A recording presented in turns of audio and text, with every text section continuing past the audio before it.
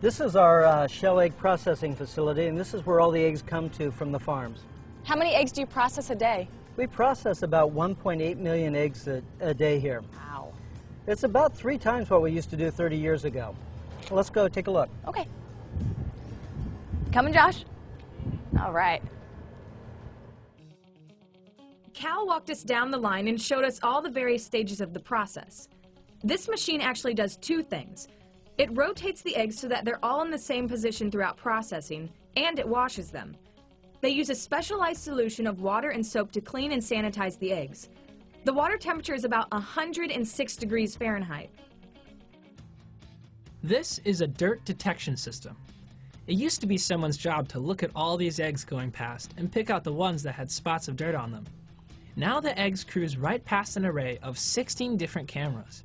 The eggs are rotated as they pass through, so the cameras can see all of the egg.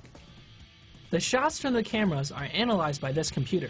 If it sees a spot, that egg is automatically routed off to the side and back to the washer. Josh, music? We both need a good grade on this. Oh, fine. Speaking of sound, I thought this was interesting. It's a crack detector, and it checks the eggs sonically. Tiny probes tap each egg and listen for the sound it makes. If the sound has a high pitch and sustained ring, the egg is fully intact. If it's more of a thud, there's a crack somewhere, and that egg will be routed to a different line. The cool thing is how fast all this happens. The eggs don't even slow down because the machine taps and listens to each egg 16 times in a matter of seconds. Some places still candle the eggs, but this is how they do it now. Much faster and more efficient than the old way. And this is the modern version of the one egg at a time scale. The eggs pass over sensors built into the line, all controlled by a computer. Each egg is weighed over 60 times in under a second.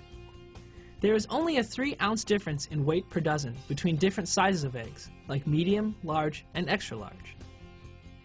The eggs then go through this grading machine. These machines are huge and can handle millions of eggs a day.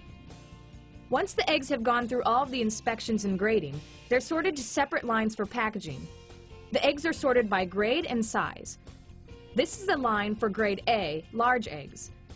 There are other lines for grades AA and B, medium and large sizes too. Big farms like this one fill orders for several different grocery outlets, so they'll run different cartons depending on their orders. Some stores specify fiber cartons, while others might use foam. Advanced technology is used in the packing. The date information is burned into the cartons with a laser. The date might be an expiration or sell-by date, which is used by the stores, or a best buy or use by date, which is meant for the consumer. Basically, the carton of eggs you bring home from the store will last at least three weeks in your refrigerator with no real quality loss. And if you've got lasers, you gotta have robots. These arms are controlled by a computer that gets information from different sensors. So, the arms know when to pick up the cartons on each line, how to turn them, and when the box is full. Then a new box is unfolded and the robotic arms keep on packing. The packed boxes are placed on pallets and sent to the refrigerated warehouse, where they'll be loaded into refrigerated trucks. This all happens pretty quickly. Even with all these processing steps, eggs are often shipped out the same day they are laid. They told us this person was not just randomly stealing eggs. To make sure all this high-tech machinery is doing a good job, they pull cartons off the line and check them for quality. The quality assurance employees check the eggs for cracks and dirt. Then they measure the eggs for size and confirm their grade to make sure they meet the standards.